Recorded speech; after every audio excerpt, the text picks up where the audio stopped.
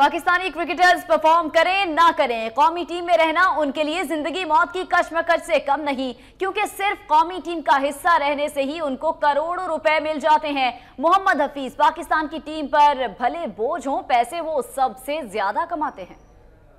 मोहम्मद हफीज पाकिस्तान के अमीर तरीन क्रिकेटर बन गए। गुजश्ता माली साल में ओपनर की आमदनी तीन करोड़ बानवे लाख रही। विकेट कीपर सरफराज अहमद तीन करोड़ छत्तीस लाख बहत्तर हज़ार। अजहर अली तीन करोड़ अट्ठासी लाख। वहाब रियाज दो करोड़ इक्यानवे लाख। अहमद शहजाद दो करोड़ अस्सी लाख छिहत्तर हज़ार। यासिर शाह दो करोड़ चौहत्तर लाख उनतालीस हज़ार। शुएब मलिक दो करोड़ साठ लाख उनचास हज़ार। मिसबाउल हक दो करोड़ सैतालीस लाख चौंतीस हज़ार, यूनुस खान दो करोड़ सैतालीस लाख उनतीस हज़ार, असद शफीक एक करोड़ पचानवे लाख पचासी हज़ार, शाहिद आफरीदी एक करोड़ पिचासी लाख चौदह हज़ार, राहत अली एक करोड़ पिचहत्तर लाख चौसठ हज़ार, मोहम्मद इरफान एक करोड़ चौवन लाख तिरपन हज़ार, मोहम्मद इरफान एक करोड़ चालीस लाख उनतालीस हज़ार, जुनेद खान एक करोड़ बत्तीस लाख सत्ताईस हज़ार, उमर अकमल एक करोड़ अठारह लाख इक्यानवे हज़ार हारिस सोहेल एक करोड़ पंद्रह लाख अड़तालीस हज़ार, अनवर अली एक करोड़ बारह लाख चौवन हज़ार, जुल्फिकार बाबर एक करोड़ छह लाख चार हज़ार अम्माद वसीम छियासी लाख चार हज़ार, सुहेब मकसूद तिरासी लाख पचास हज़ार, इमरान खान